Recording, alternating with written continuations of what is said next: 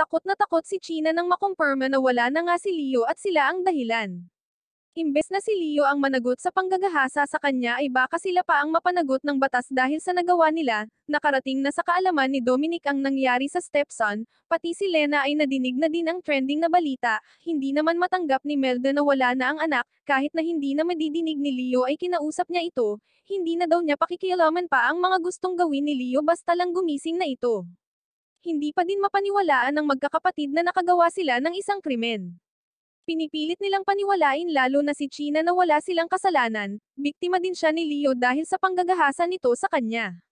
Pero hindi iyon maabsorb ni Celine at Carrie na ang tanging alam ay sila ang may mabigat na nagawa kahit sa ang aspeto patignan. Bilang panganay ay naiintindihan ni Celine ang nangyari sa bunso at inako ang mga sisi dahil siya ang nagdesisyon na makipagkita kay Leo. Hindi na nila alam kung ano ang dapat gawin lalo pa at mga bata lang sila. Para kay Celine ay tama lang na malaman na ng ina ang napasok nilang sitwasyon dahil alam nilang kaya silang protektahan at ipagtanggol ng ina. May masamang balita si Frenny sa magkakapatid nang bigla iyong dumating, nasa ospital daw si Lena ayon dito, may tumor daw si Lena sabi ng doktor, may gastric bleeding na nga daw ito dahil sa esophagus ang tumubong tumor at kinakailangan ng sumailalim sa operasyon, inisip ni Lena ang gastos kaya hindi na daw siya magpapa-opera na tinutulan ni Celine, nangako itong gagawin ang lahat makasama lang ng matagal ang ina. Mas lalong na problema ang magkakapatid pero mas pinili ni Celine na mas intindihin ang ina kesa sa problema nila kay Leo, pinanindagan na kahit na anong mangyari ay hindi sila aamin na may kinalaman sa nangyari kay Leon Guerrero.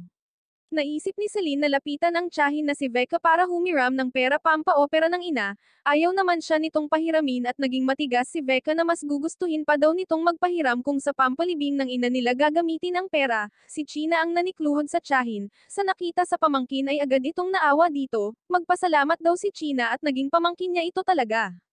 Nasa ospital si Carrie at nagbabantay sa ina nang dumating si China, Sakto namang may balita sa pagkamatay ni Leo, hindi pa daw nagsasalita ang pamilya Guerrero pero ayon daw sa source nila, lumalabas daw na suicide ang dahilan ng kamatayan nito na ikinagulat ni China.